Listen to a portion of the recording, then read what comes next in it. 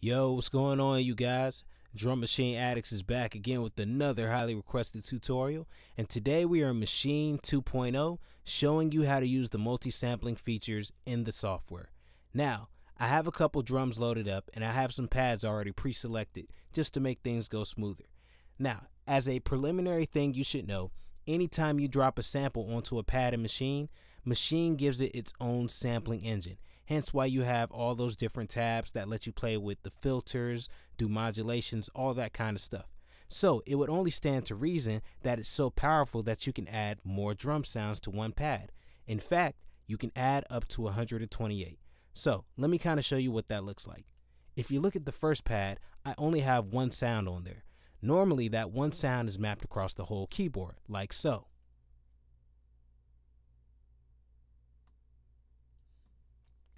All right, I just took that sound that was mapped to one key and mapped it across the whole keyboard. That's usually the default when you go to this tab in Maschine, the Zone tab, when you're sampling.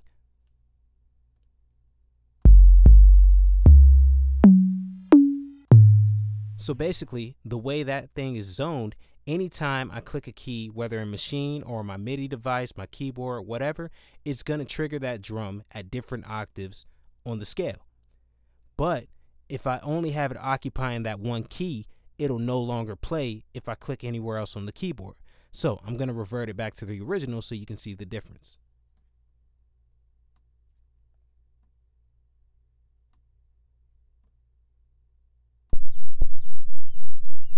Alright, and if you hear that weird sound in the background, that's because the drum is so low on the keyboard, that's what the bass sound sounds like that low.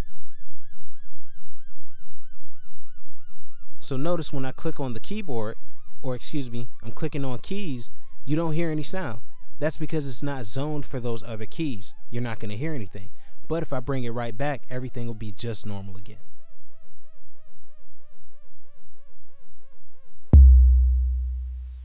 Now, seeing that with just one sound, imagine if you had 128 sounds on just one drum pad. Gets really crazy, right? Let's take a look. All right, as you can see here, I have 128 sounds on this one drum pad. So then if I go on Maschine and I activate the keyboard feature from my drum controller, I can play these on the octaves.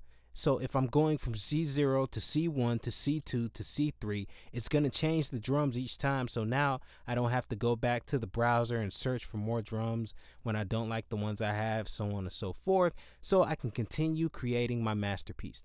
To kind of show you how it works, I'm just going to trigger random drums just so you can see the effect of it.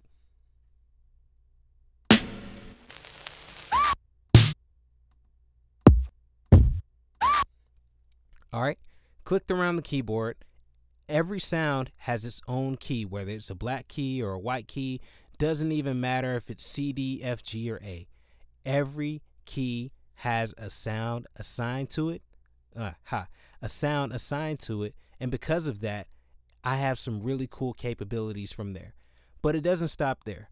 Let's go ahead and take a look at some other things that contribute to this. All right, if you see right here, I have three sounds loaded up into the zone on Maschine.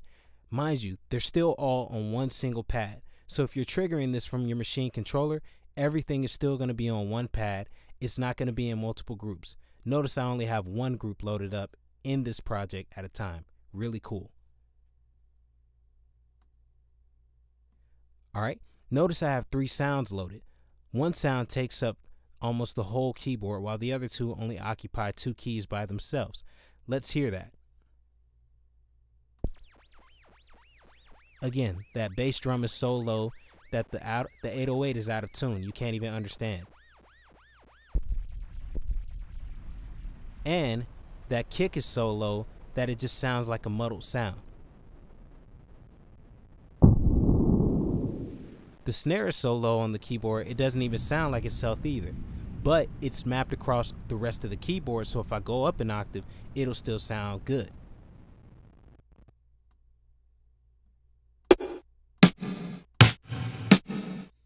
Alright, didn't find the root key, but it basically sounds like itself because it's zoned across the rest of the keyboard and I can just go up an octave or two until I found what sounds good for my ear. let's go ahead to this last drum pad we have loaded up.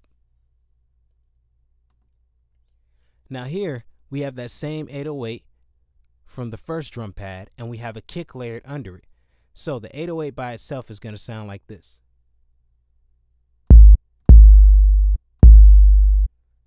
But if we take a look at our zone, we notice something.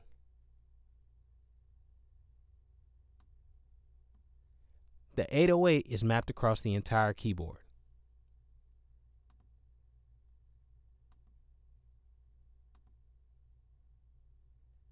But also so is the kick drum. So now they're layered together, which means this 808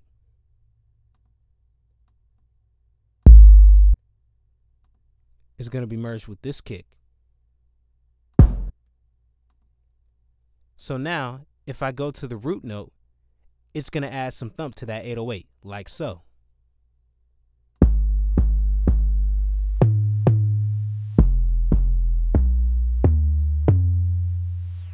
So notice you can still hear the 808, but now it's got a little more thump behind it because it has kick drums with it too. These are just some tips and tricks that you can use when you're in your Maschine project to make your drums knock harder or to add multiple samples to one pad so you don't have to keep going to the browser or importing when you don't want to.